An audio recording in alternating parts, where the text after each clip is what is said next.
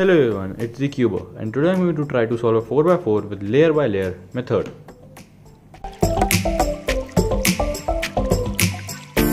So what I mean by trying is that I have never solved a 4x4 really with a layer by layer method. I have like tried but I have never successfully solved it. Uh, but this time I have got some algorithms and some concept in my mind which can help me solve the cube.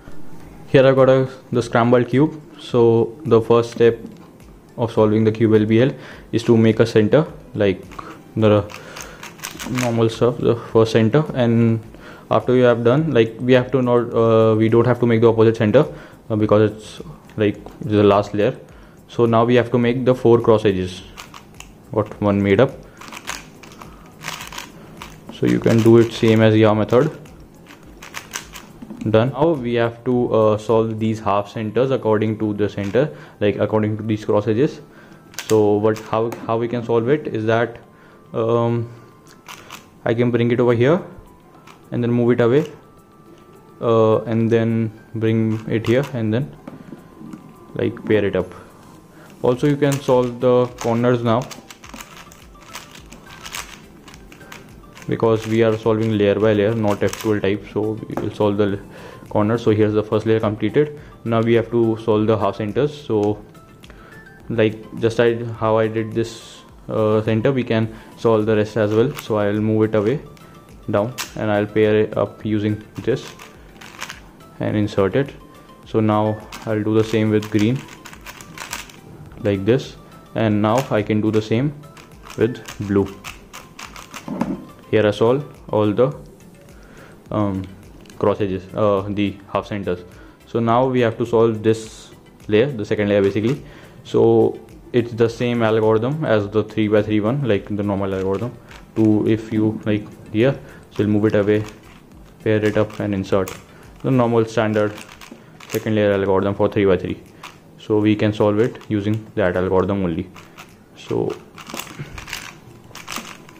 but uh, just you need to uh, keep in mind that you have to solve with only the edge which is uh, here like not the edge like this one because this one will not pair. It it is supposed to come here. It's the third layer edge. So this way you can solve the second layer. So now to the third layer. Uh, we have to solve all the these four edges. The one gets solved. So for this uh, the algorithm is also same. Like if you want to insert it to here you will just move it away. And now you will do the same stuff but with uh, wide layer. So l prime u l. So now you will move it away. And then you have, now you will insert this back like this. Uh, this. And now you will insert it back like a pair so this way you can solve the whole uh, like the four edges. But you have to keep in mind that you have to do it from the area where uh, there are two slots empty for the these two pieces. So you will move it away bring it back and insert it. Same way here. Insert it. Now we have solved the four edges. So now we have to solve these uh, centers. We can solve it by the top layer and using these m uh, and u moves. So we can like bring it up here and do like this to pair this up and move it away and then insert it. You can do the same stuff with the left side.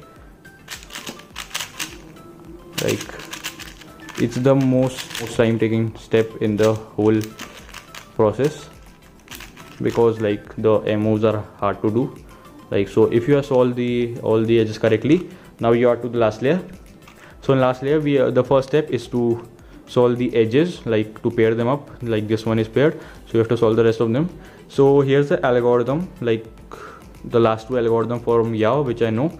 So we can use it to pair these three edges so the last layer uh, case is actually this one in which uh, this piece needs to go here and this one here.